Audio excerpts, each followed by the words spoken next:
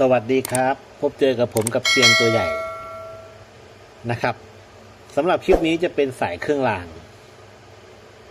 นะครับ เครื่องรางพวกสายเหนียวคงกระพันชาตี แคลคาดนะครับ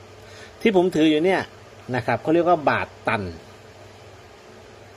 นะครับ บาทตันเนี่ยนะครับ ส่วนใหญ่ที่พบเจอจะเป็นเนื้อสำริด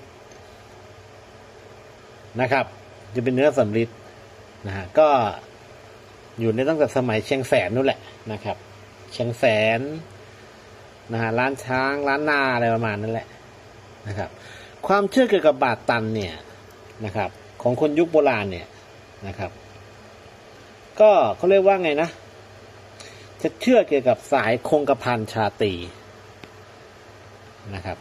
นี่เป็นโซนเนื้อสำริดนะฮะนี่เป็นโซนเนื้อสำริดนะครับแต่ก่อนคนโบราณเนี่ยนะครับเขาจะมีเรื่องอะไรบ้างนะ พวกเรียนวิชาอาคมนะครับนะครับ พวกการสักยันนะครับ พวกแช่น้ำว่าน แช่ว่านอะไรพวกเนี้ยนะฮะพวกนี้ก็เกี่ยวกับสายสายเหนียวคงกระพันนะครับ แล้วก็บาดตันเนี่ยนะครับ ก็ถือว่าเป็นเครื่องรางอย่างหนึ่งที่อ่าไม่ว่าจะเป็นเสือหรือว่าเป็นนักเลงสมัยก่อนที่เขาต้องพกติดตัวตลอดเลยนะครับ สายเหนียวเหนียวมากนะครับ การเรื่องพวกสตาวุธต่าง ๆ เลยนะฮะสำหรับบาดตันเนี่ยนะครับ ก็อยู่ในยุคโบราณนะครับ ตั้งแต่สมัยเชียงแสนนะนะครับ ตั้งแต่สมัยเชียงแสนพวกพวกชาวล้านนาเนี่ยนะเชื่อกันว่าบาดตันเนี่ยมีคุณวิเศษก็คือพุทธคุณเอาไว้ทางสายเหนียวอย่างเดียวเลยนะครับ เอาไว้ทางสายเหนียวอย่างเดียวเลยนะครับ แต่ก่อนเวลาเขาจะไป อย่างยกตัวอย่างจะไปเที่ยวงานวัดเที่ยวอะไรพวกนี้นะครับ ก็จะพกติดตัวไปนะครับสายเหนียวคงกระพันนะครับสายเหนียวคงกระพันฮะนะครับ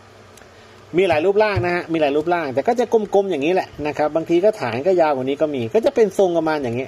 นะครับ ส่วนใหญ่ที่พบเจอจะเป็นโซนเนื้อสำริดนะครับ นี่เขาเรียกว่าบาทตันนะฮะบาทตัน สวยนะครับ สวยดี หนักด้วยนะครับ เนี่ยนะครับ หนักด้วยนะครับ อะโอเคสำหรับคลิปนี้ผมก็นะครับ